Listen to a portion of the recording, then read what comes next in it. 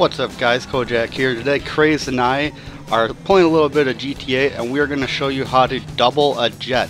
Which means every time you go to the military base, you'll steal a jet and all you need is one. You can have 16 of your friends in here and every one of you can have a jet without having to try to get away, four stars and all that over and over again. So what I like to do is take a helicopter into the military base. So Crazed and I are going to go to the airport, grab a helicopter, and we'll show you what to do next. Alright, now that Crazed and I have gotten a helicopter from the airport, we are on our way to the military base to steal a jet. And I should have said this a second ago, but this does take two people. If you only have one person, you cannot double a jet. You need one person to stay behind and watch your jet when you do the last step. So we are on our way to the military base. Alright, now that you've got your jet from the military base, uh, Craze is going to land here. The best place to do it is on the sandbar because you have to have a mission circle, the the blue circle to do this.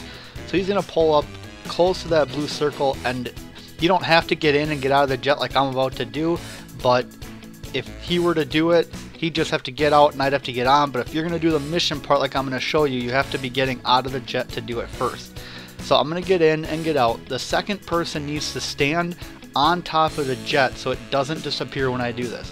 Now what you do is you get out, run over to the mission, hit A to get in, once you're into the mission, right when you get in, back out, and when you back out, for some reason, a jet will appear. It popped right up next to us, and there you have it. Now you have two jets, one for you, one for your buddy, no stars, and you can do this as many times as you want. Just somebody else would take that jet away, and then whoever was in, somebody would get in the jet, get out, do it again, all over.